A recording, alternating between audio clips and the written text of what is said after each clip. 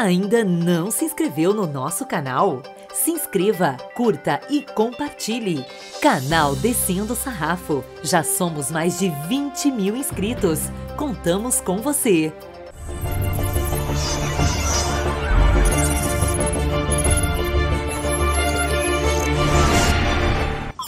Muita gente me pergunta como convencer, como dialogar com o bolsonarista. Eu não tenho a pretensão de mudar a cabeça de ninguém de cara e nem chego afirmando nada. Pelo contrário, eu gosto de pedir explicação. Daí eu sempre pergunto: por que votar em alguém que, sendo presidente durante uma pandemia, foi contra as melhores instituições de pesquisa no mundo e se posicionou contra a vacina? Ah, mas tem a cloroquina. Você sabia que o Brasil tem 3% da população mundial e 11% dos óbitos pela Covid-19? Como você explica isso? E você se lembra que Bolsonaro era contra as cotas e falou que investir em educação básica para ninguém precisar de cotas? Então, por que ele deixou de investir 8 bilhões em educação?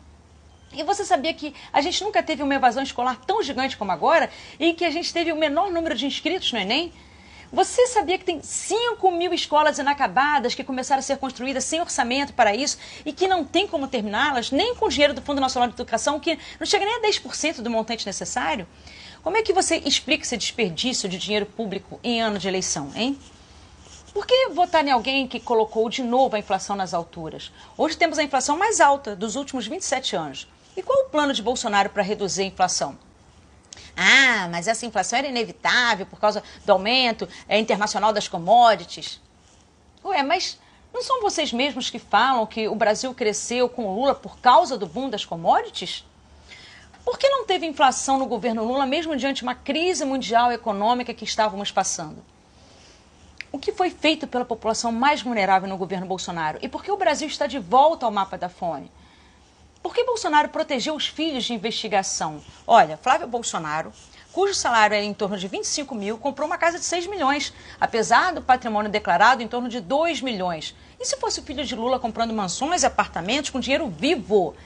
Você não ia achar estranho isso? Ó, Jair Renan atuou em favor de parceiros junto ao governo em troca de patrocínios. E se fosse o filho de Lula, você ia continuar em silêncio aí? Foi imposto sigilo da atuação do vereador Carlos Bolsonaro na viagem à Rússia.